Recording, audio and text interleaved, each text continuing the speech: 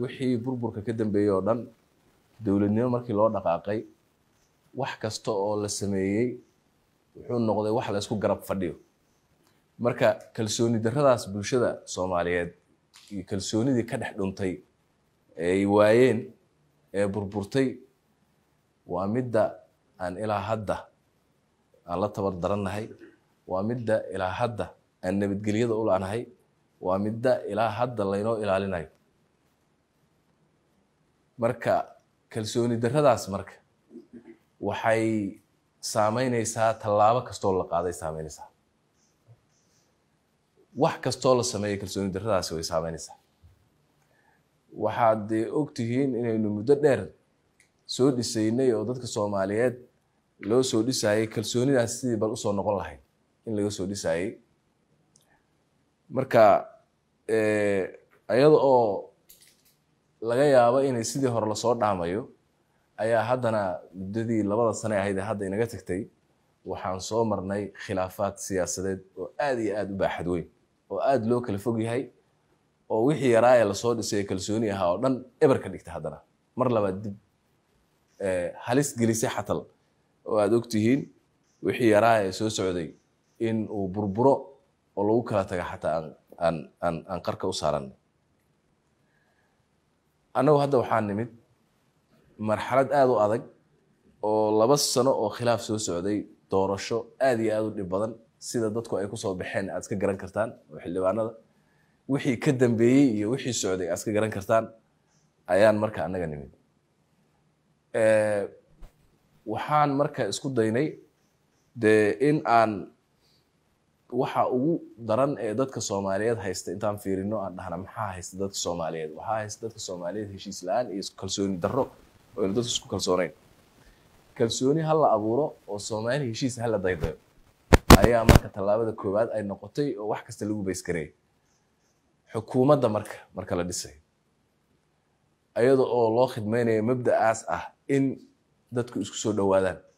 Kalsooni la abuuro ayaa waxaan isku daynay maximum wix inta aan samayn karno in wax lagu laysugu dhadhow yahay oo dadku ay isla ogol yihiin wax isla leh ee siyaasiyiinta ah bal in wixii la abuuro taasaa marka waxay nagu qaadatay in aan muddadii hadda aan ku jirnay oo dhan inaan wixii ka shaqeyno taasaa kaliftay wadatashigai shacabka oo ay ugu horeeyaan qeybaha hoggaanka bulshada ah oo ay culimmadu kow ka tahay inaan ka daahno oo ay maxaan ku dhahay ilaa halkan ay nagu soo gaadho taas ayaa keentay.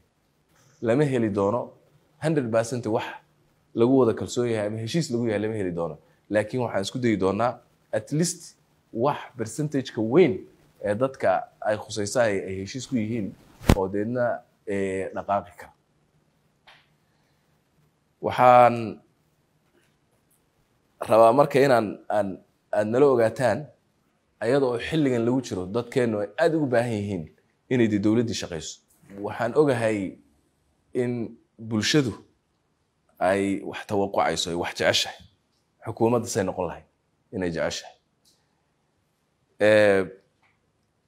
Markii aad adigu adoo bulshadii ka yimid aada meeshii timaadana waxaa waxaa kuu imaana waxaad gelaysaa waaqac cusub oo kii ka bedel waxaa dhici karta awal hore in ay madaxda dowladdu ay ahaayeen u badnaayeen dad laga yaabo ama akhyaar soomaaliyeed oo aan shacabka aada uga warhayn oo ay dhici karto inaynan aada xog ogaal ugu ahayn dowladda dadkeenu say u arkaan iyo shacabkeenu say u arkaan.